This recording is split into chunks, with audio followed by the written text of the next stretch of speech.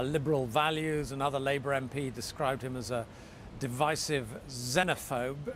The leader of the Labour Party, though, adopted a slightly more nuanced approach. He said that his victory was a global wake up call, it was a reaction against the establishment.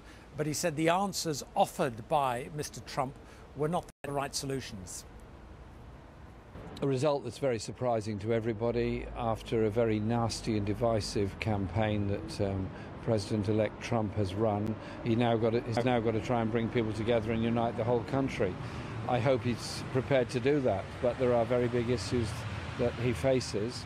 And uh, there is a message also that many people in the United States felt very left behind by their economic system. And that's a message uh, indeed for the whole world. His solutions are not a solution to them, but the message is a strong one. One of, one of the striking things, I think, about President Trump's victory is unlike in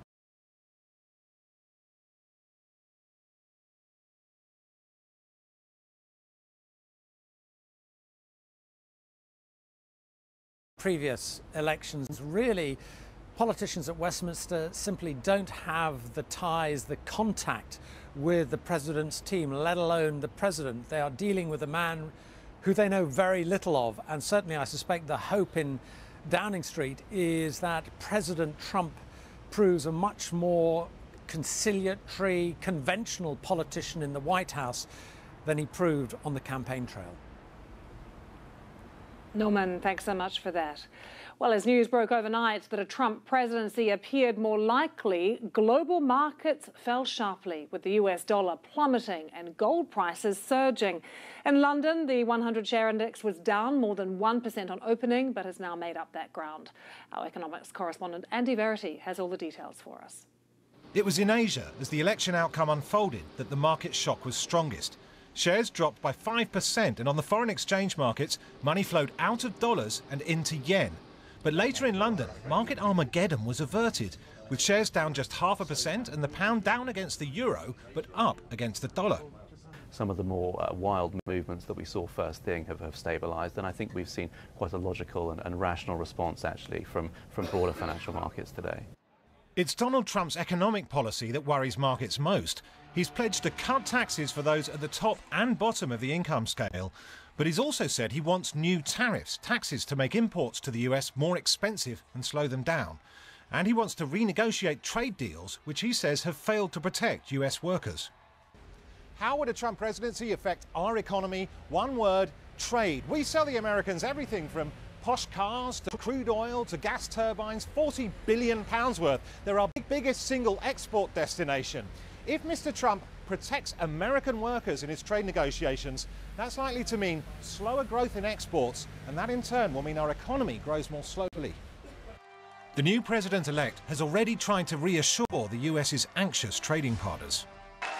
We have a great economic plan. We will double our growth and have the strongest economy anywhere in the world. At the same time, we will get along with all other nations, willing to get along with us. But concerns remain that Mr. Trump's policies could hobble economic growth across the world.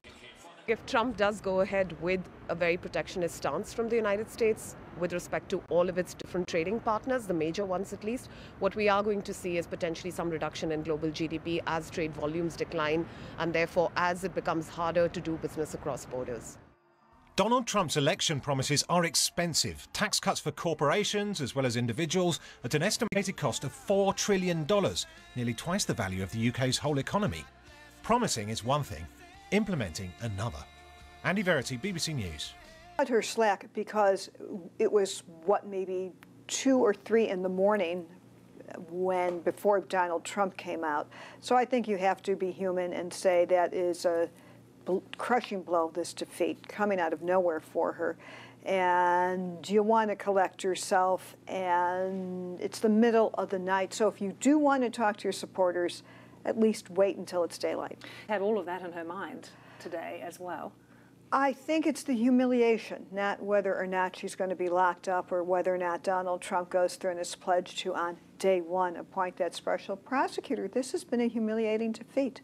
To be beaten by, of all people, Donald Trump in a campaign where you are the most qualified person on paper with your resume in the United States, that that's what's a stronger word than embarrassing. And her team were quietly confident. That was what we were all hearing beforehand. No one thought that uh, Donald Trump could win and win this strong. It never was seen by anyone. No one predicted it. Every pollster had it wrong. Every political reporter did not report definitively that they saw the forces that were going to create a big win for Donald Trump.